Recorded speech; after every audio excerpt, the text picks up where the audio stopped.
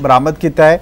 ਤਾਂ ਤਸਵੀਰਾਂ ਵਿਖਾ ਰਹੇ ਹਾਂ ਤੇ ਪੁਲਿਸ ਦਾ ਕਹਿਣਾ ਹੈ ਕਿ ਨਸ਼ਾ ਕੇਂਦਰ ਦੇ ਬਾਲਕ ਕੋਲ ਕੋਈ ਵੀ ਸੰਤੁਸ਼ਟੀਜਨਕ ਕਾਗਜ਼ਾਤ ਮੌਜੂਦ ਨਹੀਂ ਸੀ ਤੇ ਜਿਸ ਤੋਂ ਮਗਰੋਂ ਫਿਲਹਾਲ ਇਹ ਨਸ਼ਾ ਛੁਡਾਊ ਕੇਂਦਰ ਤੇ ਕਾਰਵਾਈ ਕੀਤੀ ਗਈ ਹੈ।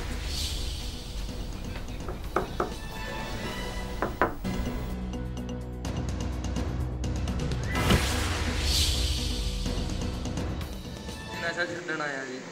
ਕਿਹੜੇ ਨਸ਼ਾ ਛੁਡਾਊ ਕੇਂਦਰ ਚ?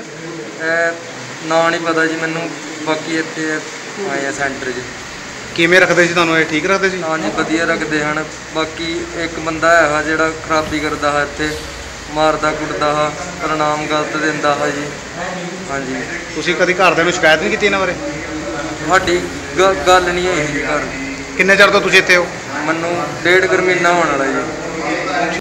ਅੱਜ ਮੁਖਬਰ ਖਾਸ ਨੇ ਇਤਲਾਹ ਦਿੱਤੀ ਸੀ ਕਿ ਪਿੰਡ ਪੰਜੋੜੀ ਫੁਰਦ ਵਿਖੇ ਇੱਕ ਨਜਾਇਜ਼ ਤੌਰ ਤੇ ਨਸ਼ਾ ਛੁਡਾਊ ਕੇਂਦਰ ਚਲਾਇਆ ਜਾ ਰਿਹਾ ਹੈ, ਜਿੱਥੇ ਕਈ ਨੌਜਵਾਨਾਂ ਨੂੰ ਨਜਾਇਜ਼ ਤੌਰ ਤੇ ਬੰਦੀ ਬਣਾ ਕੇ ਰੱਖਿਆ ਗਿਆ ਅੱਜ ਸਿਵਲ ਸਰਜਨ ਦੀ ਟੀਮ ਸਮੇਤ ਸੀਨੀਅਰ ਅਫਸਰਾਂ ਦੀ ਟੀਮ ਦੇ ਹਾਜ਼ਰੀ ਦੇ ਵਿੱਚ ਇਸ ਨਜਾਇਜ਼ ਨਸ਼ਾ ਛੁਡਾਊ ਕੇਂਦਰ ਦੀ ਚੈਕਿੰਗ ਕੀਤੀ ਗਈ, ਜਿੱਥੇ ਕਰੀਬ 14 ਨੌਜਵਾਨ ਨੇ ਜਿਹੜੇ ਨਜਾਇਜ਼ ਤੌਰ ਤੇ ਹਿਰਾਸਤ ਵਿੱਚ ਰੱਖੇ ਹੋਏ ਸੀ, ਉਹਨਾਂ ਨੂੰ ਛੁਡਾਇਆ ਗਿਆ ਅਤੇ ਜਿਹੜੇ ਸੰਚਾਲਕ ਨੇ ਉਹਨਾਂ ਨੂੰ ਕਬਜ਼ੇ ਵਿੱਚ ਲੈ ਕੇ ਪੁਲਿਸ ਕਾਰਵਾਈ ਅਮਲ 'ਚ ਲਿਆਂਦੀ